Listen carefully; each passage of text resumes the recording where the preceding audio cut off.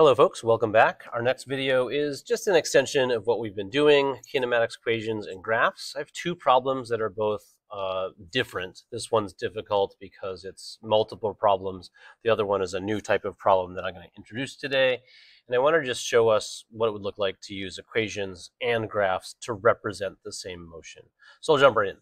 Uh, a car coasts at uh, 6.3 meters per second for four seconds then encounters a hill where it accelerates at negative 1.4 meters per second until it comes to rest. Calculate the distance traveled by the car before coming to rest. So the given information is a little bit complicated. So 6.3 meters per second uh, is the initial velocity. The time is four seconds. And then after that four seconds is up, the acceleration is negative 1.4 meters per second squared. Uh, and we are looking for the distance or displacement. Um, and so that's our given information. But we can't use it the same way that we usually have because these things happen in sequence. Like first, we have a constant velocity for some amount of time, and then we have a constant acceleration until it comes to rest. We can actually add another variable, which is the final velocity is going to be zero because it says the car comes to rest. So I have to separate this into two separate problems. First is going to be uh, the constant velocity motion. And so I can say constant velocity. We haven't done this in a video, and it might have come up for you already. Uh, but you can use this kinematics equation for constant velocity. Constant velocity means no acceleration. And so this 1 half at squared term would cancel to zero because you'd put in zero for acceleration. Now I can solve final position equals initial position plus 6.3 meters per second times 4 seconds.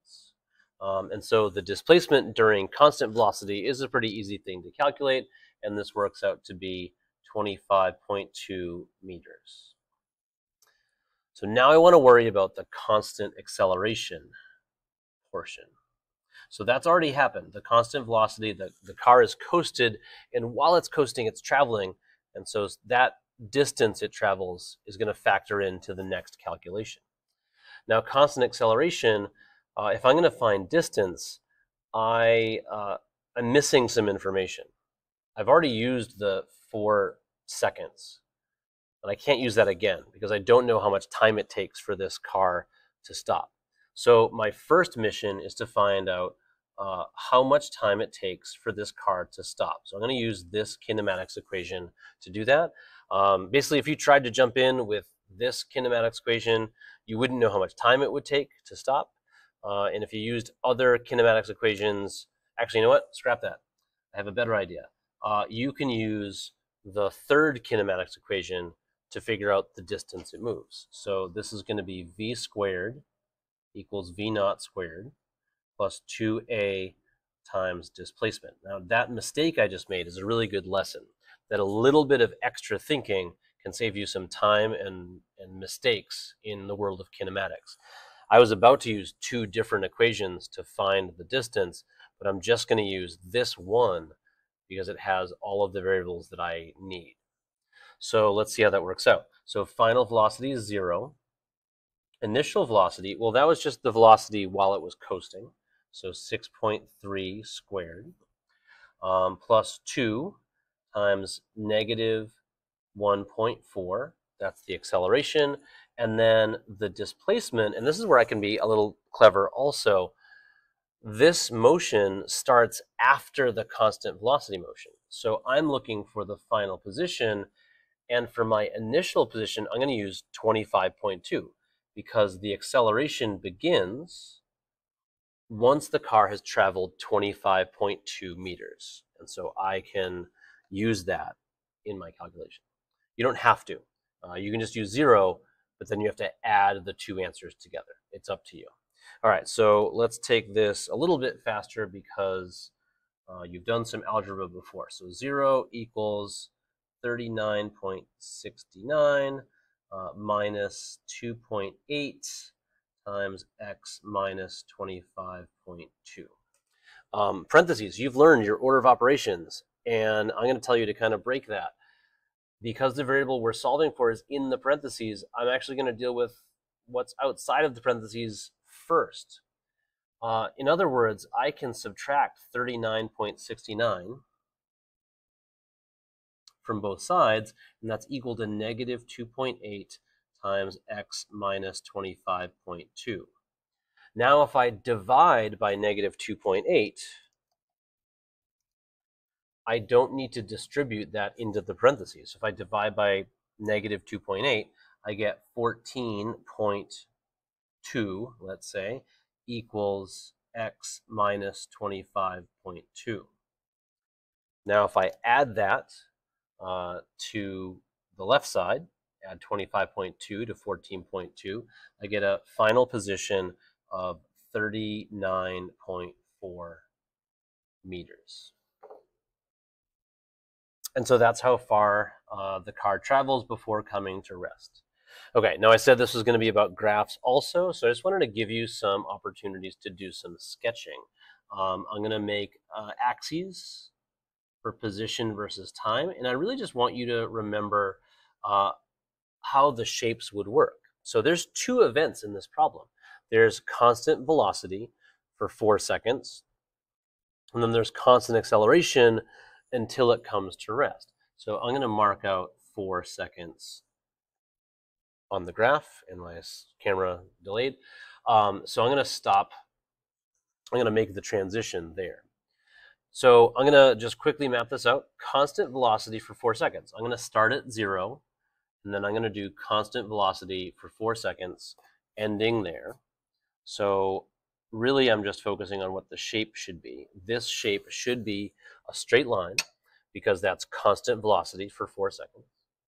And then there's constant negative acceleration. So constant negative acceleration means that the velocity is going to get more negative, and so it's going to curve downward, and it's going to stop when the car comes to rest. Now rest is a velocity of zero, and so my uh, position versus time graph is going to accelerate in the negative direction until the graph is flat. Now I drew a kind of terrible curve, but that would be the last part of the motion. So uh, decelerating to a stop. Okay. Uh, I also want to do uh, velocity versus time. All the velocities were positive in this problem, so I can start there. Now I want to do the same concept constant velocity for four seconds. So that's going to be four seconds. And constant velocity is going to be uh, a horizontal line for four seconds. And then constant acceleration until it comes to rest, well, I'm just going to now uh, have a negative slope on my velocity graph uh, until the line reaches zero, because that's coming to rest. So I just quickly wanted to show um, how you could represent this motion using motion graphs. Okay. Our second problem is one that is going to be like increasingly popular in this course because it's a big part of the AP exam. And that is what's called a derivation. And I'm going to do like kind of a, a, soft opening here with derivation and not really give you a full lesson. We're going to pretend this is just a normal physics problem. Uh, a car at rest v naught equals zero, is allowed to roll down a hill with an acceleration a. Okay, that's new. Acceleration equals capital A. Instead of giving you a number, I give you a symbol, which means that this problem, the acceleration could be anything, but it is a positive value of a here, until it has rolled a distance d. So delta x equals capital D. Again, it's gone some distance. It could be any distance, but it's a distance d uh, derive an expression in terms of a and d for the car's final velocity v. So we're going to pretend this is like a normal kinematics equation. Derive an expression means that my answer is going to be v equals and then something. It says in terms of a and d. That means that a and d can be the are the only two variables that can possibly appear on the right hand side. So I approach this like any other problem and I look at my variables and I have one kinematics equation that works. And so the way a derivation works is you pick a physics equation or two, you plug in the values that you have, and then you solve for the variable you're being asked to find. So the first thing I want to note is that V naught is zero. So V naught squared cancels to zero. So my next step is to write in the, the values that I'm given. So V squared equals 2 capital A times D because x minus x naught is displacement. And so D is the displacement. And then I solve. So I'm going to take the square root of both sides. And so my answer, my derived expression for the car's final velocity is the square root of 2 times the acceleration times the distance traveled. Um, and so we will talk a lot more about derivations throughout this course, but the, the like benefit of them is this doesn't just solve this problem. This solves any problem where something starts from rest, has an acceleration, and travels for some distance. And so we'll do more derivations uh, throughout the course.